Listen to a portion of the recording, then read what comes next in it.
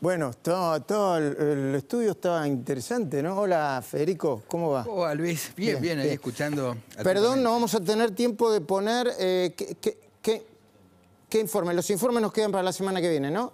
Los de Agustina y los de Luis Gasulla ya los adelantamos, ¿eh? Probablemente Silvina tenga tiempo de presentar el, el informe suyo, ¿sí? Silvina Martínez. Bueno, ¿estuviste viendo? Sí, claro, claro. Bueno, apasionante, apasionante, porque a veces uno tiene la, la sensación cuando lo escucha a Javier que están eh, discutiendo teoría, ¿no?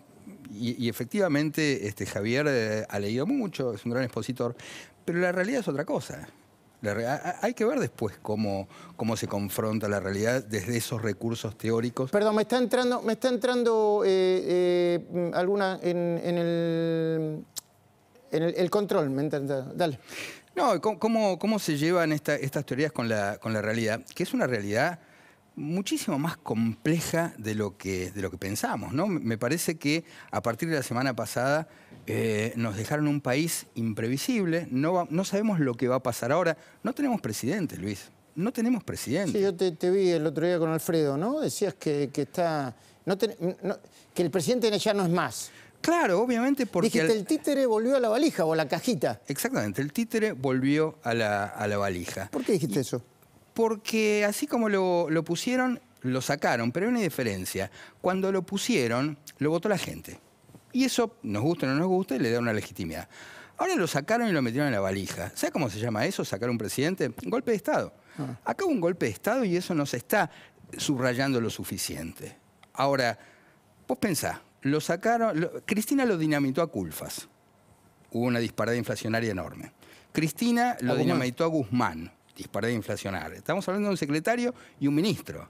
Acaba de sacar al presidente. ¿Qué va a pasar la semana que viene? Es una buena pregunta. Y, otra mm, dirigente, bueno, otra funcionaria que está viendo una película, bueno, yo te diría muy estrambótica, es Gabriela Cerruti. Parece que fue a Tecnópolis, fue, fue a comer en la calle Corrientes y que estaba viviendo, se ve que no, no, en, en el medio no vio nada más, y que estaba viviendo un país distinto, ¿no? ¿Qué fue lo que dijo? Digo, vos ves que hay un país en el cual la situación es rara, porque digo, ayer había, eh, anoche, de lo que yo eh, circulé, habían 20.000 personas cantando con trueno en, la- en Tecnópolis, y Sí. estuvo Tecnópolis estallada todo el día, y hoy lo va a estar de nuevo, con la Feria Joven. Yo fui a, a cenar al centro y al teatro en la Avenida Corrientes, y no se podía caminar por la Avenida Corrientes. Mm. Entonces vos decís, esta, esta imagen no es la imagen de un país en crisis, la imagen que vemos en los titulares de los diarios del lunes. Qué, preocupante. Eh, ¿Sabes lo que más me preocupa? Más allá de lo que ve y del análisis que hace, me preocupa escuchar estos mismos argumentos que yo escuchaba y me acuerdo en la dictadura militar. Dicen que hay crisis, pero la gente está bárbara. En todas las crisis salían a decir exactamente lo mismo. Eh, pero dicen que hay crisis, pero la gente va a los restaurantes, la gente va de vacaciones.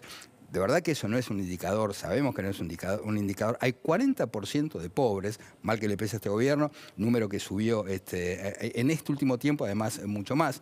Hay eh, 104% de inflación Sí, anual, esto no se veía desde la época, creo yo, de- desde Menem, la peor época de, de Menem.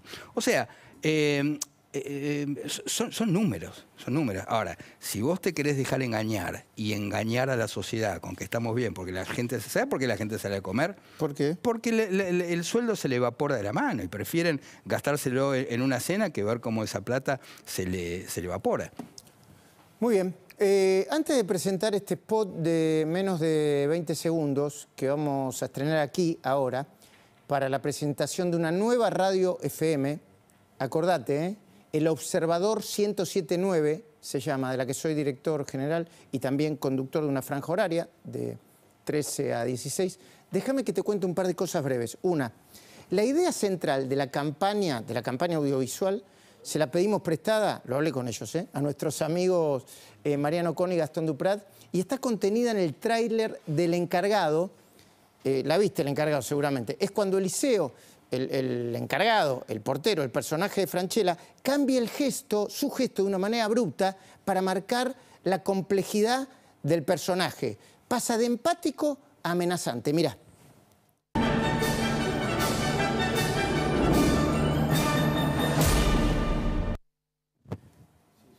¿Ves el cambio de expresión?